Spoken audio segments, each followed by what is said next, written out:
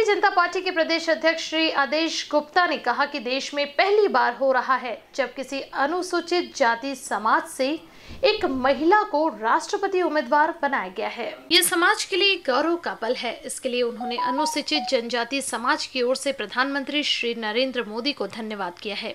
श्री गुप्ता ने कहा कि प्रधानमंत्री श्री नरेंद्र मोदी ने समाज के सभी वर्गों को एक समान रूप में देखा है और अपने मूल मंत्र में सबका साथ, सबका विकास, सबका प्रयास और सबके विश्वास के तहत देश के विभिन्न राज्यों, चाहे वह बिहार हो, झारखंड हो, उड़ीसा हो, राजस्थान हो या फिर छत्तीसगढ़ हो, के सभी अनुसूचित जनजाति समाज के लोगों को एक राजनीतिक पहचान देने का कार्य किया है। आज प्रधानमंत्री श्री नरेंद्र मोदी द्वारा अनुसूचित समाज की पहली महिला राष्ट्रपति उम्मीदवार के तौर पर श्रीमती द्रौपदी मोमो को चुने जाने पर आयोजित धन्यवाद कार्यक्रम को संबोधित करते हुए श्री आदेश गुप्ता ने कहा कि भाजपा ऐसी पार्टी है जो कहती है, वही करती है। इसका प्रमाण वह कई बार दे चुकी है। देश के प्रधानमंत्री नरेंद्र मोदी ने दलित के बेटे को महामहिम का सर्वोच्च पद देकर समाज को सम्मान देने का काम किया। तो अब जनजाति समाज की बेटी को राष्ट्रपति पद का उम्मीदवार बनाकर इस समाज को सम्मान देने का काम किया है।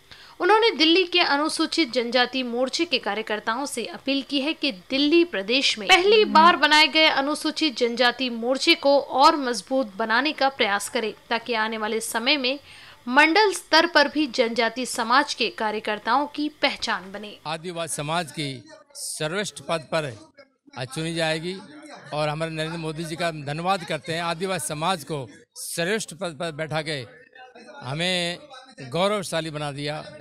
ऐसे हमारे अध्यक्ष दिल्ली प्रदेश के आदेश गुप्ता जी ने एसटी मोर्चा गठित करके वे भी एक गौरव प्राप्त किया। हमें चाहेंगे ऐसे ही समाज को, हमारे मोदी जी और तरक्की देते रहें। आज देश के लिए बड़ा गौरव का दिन है। जब भारतीय जनता पार्टी ने हमारे राष्ट्रीय अध्यक्ष श्री जेपी नड्डा जी ने और हमारे देश के यशस्वी प्रधानमंत्री श्री नरेंद्र मोदी जी ने देश के इतिहास में पहली बार जनजाति समाज की बेटी देश की राष्ट्रपति बनने जा रही है और भारतीय जनता पार्टी के उम्मीदवार के तौर पर उनकी घोषणा हुई है। जनजाति समाज से आती हूँ और मैं भी महिला हूँ। और हमारे लिए ये बड़े गौरव की बात है कि प्रधानमंत्री ने, भारत के यशस्वी प्रधानमंत्री ने इतना बड़ा फैसला लिया और हमारे समाज के लिए ये गौरव की बात है, पूरे भारत वर्ष के लिए ये गौरव की बात है।